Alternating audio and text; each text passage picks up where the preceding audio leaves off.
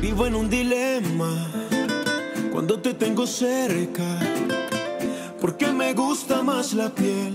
Hola, bienvenidos. Soy William Mesa, director del canal Vox Move. Y hoy nos acompaña un nuevo artista caleño, también que está incursionando en la música popular. Y hoy nos acompaña Cristian Rivera desde la ciudad de Medellín. Está enlazado desde Medellín. Cristian, bienvenido aquí al canal Vox Move. ¿Cómo estás? Hola, hola William, ¿cómo estás? Muy bien, gracias a Dios, por acá muy contento. Ya llevo un año radicado acá en la ciudad de Medellín, estoy muy contento, estoy haciendo mi carrera acá. Yo soy de Cali em, y nada, este sueño nace desde, desde, niño, desde niño pues me gusta mucho el tema de la, de la música. en mi familia contrataba mucho los mariachis, entonces yo los veía, uff, como por allá, que nota, me encantaba, me encantaba, desde siempre me gustó la música, la música años y trabajando a este, a este sueño, a esta carrera y vamos muy bien, gracias a Dios.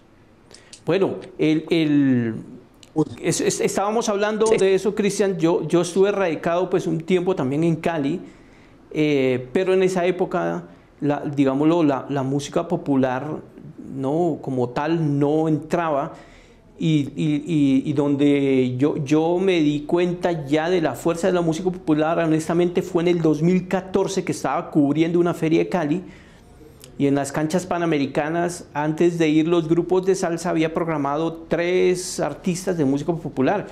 Y yo dije entre mí, no, pues, pues que esos manes, esta gente se descachó poniendo música popular con salsa.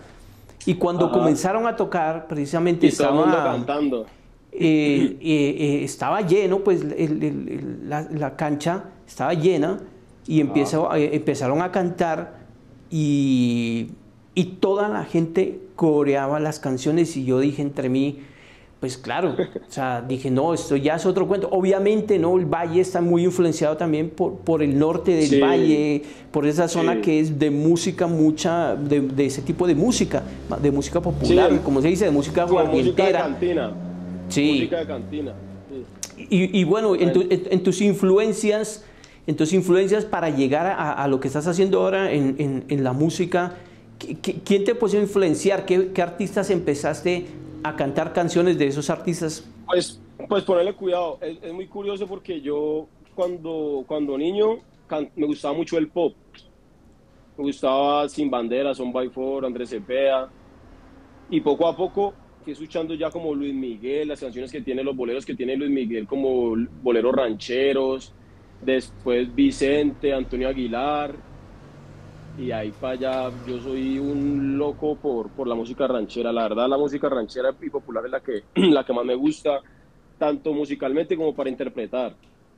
Okay. Y tengo un abuelo, mi abuelo paterno, que también pues fue, él no llegó a ser mariachi, pero sigamos en, Cantaba en, eh, cantó en discotecas, en Pereira, en cabalgatas, en Cali. Le gustaba mucho, él hasta ahorita todavía canta.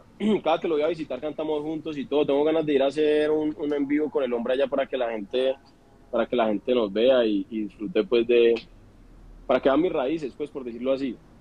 Claro, claro que sí.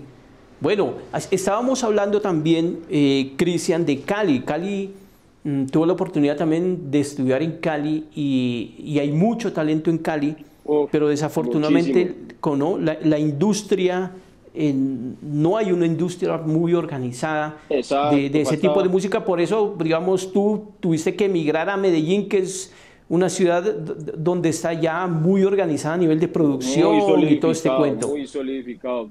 Te cuento que yo en Cali sí tuve un apoyo de unos amigos que, que, pues, que tienen su estudio, pero no estaban direccionados como al, a la música popular ni nada. Ellos son más que todo como eh, música como electrónica, como así. Entonces, pues no, sí me enseñaron muchas cosas y les agradezco eternamente. Incluso uno de ellos es el baterista de Gracie. Okay. Ellos fueron los que me empezaron como a encaminar vocalmente y en el 2019, el 2010, ah no, el año pasado unos amigos que tenían una disquera acá en Medellín me llamaron. Ve, vení, te queremos apoyar, queremos hacer tus producciones musicales, nos conseguimos un, un inversionista y te empezamos a ayudar con la carrera. Me vine ocho días a un hotel y ahí para allá me quedé viviendo. No me preguntes cómo, pero me empezaron a salir las cosas así como un rompecabezas. Vine ocho días, por acá después un tío mío que me quedara con él, luego tan, tan, tan, tan, y, así, y ya ahorita, ya gracias a Dios, tengo mi apartamento, lo estoy amoblando, estoy súper feliz, tengo ya un apoyo increíble de mi disquera, de verdad que esto ha sido, es que muchas veces, ¿qué pasa? Como vemos que no tenemos apoyo, digamos, en nuestra ciudad, nos da miedo salir porque no tenemos, digamos, eh, solvencia económica, no sabemos qué vamos a hacer, pero yo te digo, después del miedo está todos los sueños. O sea, ¿quién me iba a decir a mí que iba a tener tanto apoyo después de los ocho días que yo vine solamente a, a, mirar a ver qué pasaba? ¿Sí me entendés? Claro, claro. Entonces yo digo que también son cosas de Dios y de, y de meterle. Y ahorita hablamos también que para esto se necesita demasiada disciplina. O sea, esto no es de la noche a la mañana, esto es una carrera. Esto es una carrera. Esto no es que yo canto muy bonito y entonces venga, grábenme y ya. Y entonces al otro día ya soy famoso, ya llegué al éxito, ya llegué a todo Colombia. Eso no es así. Así que meterle el pecho, amor antes que todo. Si usted va a estudiar música o va a ser músico o quiere ser el mejor, el mejor cantante del país, hágalo por amor, no lo haga por plata. Claro que sí. Porque créame que usted al principio usted va a tener que ir a discotecas a regalarse Usted tiene que regalarse mucho tiempo y ya después que la gente empiece a dar su talento, su carisma, que en serio usted se hace las cosas con amor, con pasión, ahí sí la gente le va a a, valorar sus cosas. ¿Sí me entendés? Claro, claro que sí. Y bueno, y, Cristian, estábamos también, digámoslo, como todas las familias siempre tienen eh, temores, ¿no? Los padres tienen temores cuando uno como como artista dice, me voy a dedicar a cantar o quiero ser músico. Eh, y, hablábamos eso. Tú eres, tú eres ingeniero agroindustrial. Correcto. Yo soy ingeniero agroindustrial. Antes de graduarme, yo le dije a mi familia, vea, yo a ustedes les voy a regalar mi cartón. Gracias por haberme regalado el estudio, gracias por todo lo que han hecho por mí. No voy a tener cómo agradecérselos, pero a mí lo mío es la música y yo lo siento desde niño. ¿Qué pasa? ¿Por qué, no me, ¿Por no me decidí antes por el que dirán? Por el ego. Porque sea como sea, vivimos rodeados de una cultura del, ay, este mira, ay, no, pero qué pena, ay, no, pero... Y uno está metido en esa burbuja, ¿sí me entendés? Y por circunstancias de la vida fui madurando y yo dije, eso es lo que me gusta, eso es lo que me llena, nada me llena como es, ni todo el dinero del mundo, porque gracias a Dios mi familia en Cali vive muy bien. Pero yo no me sentía lleno, pues mi alma como que necesitaba algo más, yo, lo mío está en la música. Y tenía así mucha gente, mucha gente que me decía, ve, hacerle, estudiar, cantar, hacerle, hacerle, hacerle, hasta que yo dije, voy a intentarlo, creo porque pueda pasar, que no pase nada. Y sí, que digan que no y ya. Donde vamos. Y yo te digo, o sea, el sueño mío no es ser el más famoso, el sueño mío no, el sueño mío es que a donde yo vaya, vaya la gente, disfrute mi música y listo. Yo no, no me interesa ser el más famoso del mundo ni el más. Créeme que el que piensa que quiere ser famoso y ya, eso no pasa nada. claro, claro que sí. Hay que hacerlo por amor. Obviamente hay que tener sueños. O sea, yo te digo, el sueño mío es cantar al lado de Cristian Nodal, al lado de Alejandro Fernández, que estemos en un mismo estudio grabando. ¿Sí me entendés? Ese tipo de sueños sí valen, pienso yo. Y claro, obviamente, pues, sí. uno tener eh, una vida estable económicamente. ¿Quién va a decir que no? ¿Sí me entendés? Claro. Pero, pero los sueños míos son eso, o sea, pararme al lado de los más grandes y grabar temas y que la gente los disfrute brutalmente, que les llegue al, alma, al corazón. Bueno, eh, estábamos hablando en, en, tu, en tu trabajo, eh, este, este, bueno, hoy nos acompañas con Prohibido, que es el tercer sencillo, pero quiero que me hables un poco eh, de Nunca fuiste mía y de ahora que te vas. Claro que sí, mira, mi primer lanzamiento fue Nunca Fuiste Mía. Esta canción es una canción de despecho, donde te voy a contar historias breves de cada canción. Nunca Fuiste Mía es cuando vos metes el corazón y le metes el corazón a una mujer y la gente te dice, ve, no le metas tanto el corazón, que mírala ya como está. O él, o sea, o viceversa. Mira cómo está, mira cómo está, pues te, te llevo relajado, no sé qué. Y uno no, y uno sigue enamorado, enamorado. Y cuando menos pensás, esa persona te deja y la gente te lo dije. Te lo dije, metiste el corazón, te estrellaste y mira, te lo dijimos, te lo dijimos y mira. Y yo creo que mucha gente se siente identificado con eso, incluso eh, hasta a mí personalmente me ha pasado, mucha gente de mi alrededor también le ha pasado, entonces muchísima gente se, se sintió identificado con esta canción. Ya, ya. Ahora que te vas, es mi segundo lanzamiento. Eh, este, este tema es el tema de las mujeres. O sea, no sabes la cantidad de mujeres que me mandan mensajes a, mi, a mis redes sociales, me dicen, este es el mal, me encanta, eh, no se sienten súper identificados. Eh, este y hombres también, pero yo digo que este es el tema de las mujeres. Hasta ahora este es el tema que yo he grabado que les gusta más a las mujeres. No, y, el, y, el, y ahora, que, ahora que hablas del tema de las mujeres, tú también te das cuenta en presentaciones eh, que las chicas, las mujeres, no, les van, van, van, van, a conciertos, van a mesas y además son las que más toman. La, no, y es que ya sabes que me he dado cuenta, he visto muchas, en, en presentaciones que hoy hay muchas mesas de mujeres solas. Por eso, cuatro o cinco mujeres solas. Solas, Iván, y les encanta esta música. Entonces, hablando en cuanto a mi proyecto, eso es algo que queremos brindar nosotros y dar a conocer, que es que esta canción de despecho no es solamente para los hombres, ya nos estamos dando cuenta que hay un mercado donde están las mujeres que les encanta esta música, ya lo podemos ver con, con Cristian Nodal, las mujeres aman a Cristian Nodal, lo aman. Sí, claro. Entonces, digamos, acá no vamos a la, no digamos que vamos a sacar la competencia al hombre, pero acá en Colombia hay un vacío en ese, en ese mercado, ¿sí me entendés? Claro, y, y no hay espacio. Sí, no, hay que meterle pasión, interpretar con el alma y a las mujeres les encanta. Gracias a Dios, en ese sentido nos ha ido muy bien. Ahora que te vas, como te contaba, es una ocasión también de despecho, es cuando uno está con una pareja que es mentirosa, que uno le da oportunidades y oportunidades y oportunidades y nada. Entonces, listo.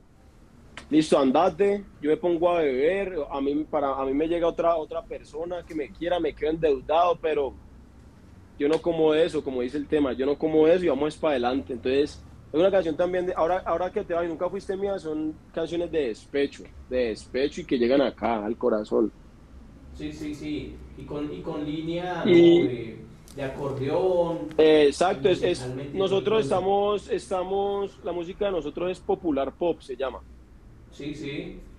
Es popular pop y la verdad no ha, ha, funcionado, gracias a Dios no ha funcionado. Las estadísticas de las redes sociales van súper bien, la verdad están superando nuestra expectativa, entonces por ese lado estamos muy contentos. Y ahorita vamos a hablar de Prohibido. Eso, de Prohibido, que es tu tercer sencillo. Eso es, lo que ahora te trae también aquí el canal y, que la gente también puede, puede mirar en, tu canal de YouTube que estás como Cristian Rivera eh, el, videoclip. Cuéntanos un poco de, además que, que, tú vas aquí también ya en la parte de escritura como compositor. Sí, acá voy como compositor. Gracias a Dios es, es mi primer tema que saco como compositor. Eh, este tema quiero contarles pues cómo lo hicimos, lo hicimos en una en un campamento de música con dos amigos. Nos demoramos dos días escribiéndolo, pero la verdad nos, nos encantó. El productor fue, fue mi productor, Tomás Zuluaga. Los arreglos del hombre nos encantaron.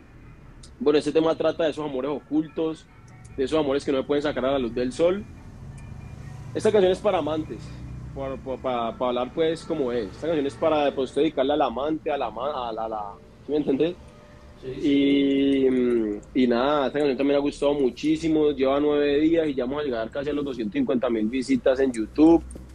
Eh, la gente también me escribe en las redes sociales al interno, ve, ya la dediqué, ya la dediqué, ya la dediqué. En estos días hice una encuesta en, en mi Instagram y el 56% contestó que ya, la había, que ya la había dedicado. O sea, pregunté, bueno, cuénteme pues quién ha dedicado la canción, sinceramente. Y el 56% contestó que sí, que ya la había dedicado. Entonces, en, en, en, en, el video pueden ver ahí la gente que, que, que, entra y se puede además suscribir en tu canal. Puede ver pues, Exacto. que, que, el tipo en el video, pues no, el tipo en el video se, se, se, se, pasa de trago, se queda dormido y perdió el año.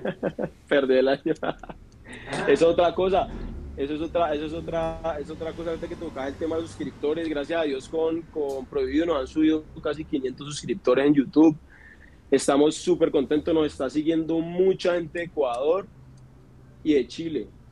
Pero la, que, la gente que, que más nos está escuchando es la gente de Ecuador. Entonces, si por acá nos está escuchando la gente de Ecuador, muchísimas gracias.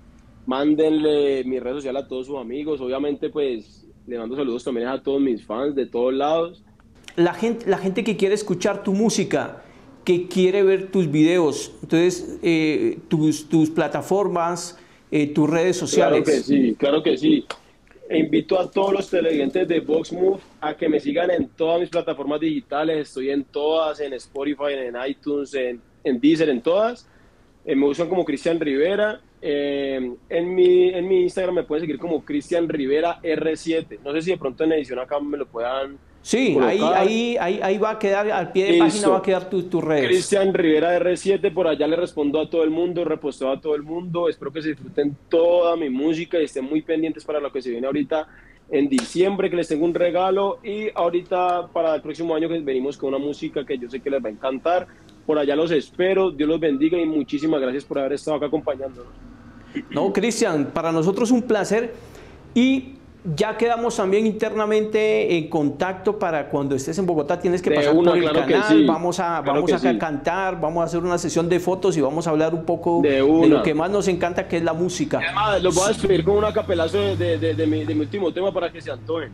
Dale, dale. Vivo un dilema cuando te tengo cerca, porque me gusta más la piel cuando es ajena y siento que me quema las ganas me envenenan. Somos amantes y eso que valió la pena. Muchas gracias, Dios los bendiga. Cristian, un gran abrazo desde acá, desde Bogotá. Soy William Mesa, director del canal VoxMove y no olviden seguirnos en nuestras redes sociales como Canal VoxMove. Un gran abrazo, hasta pronto.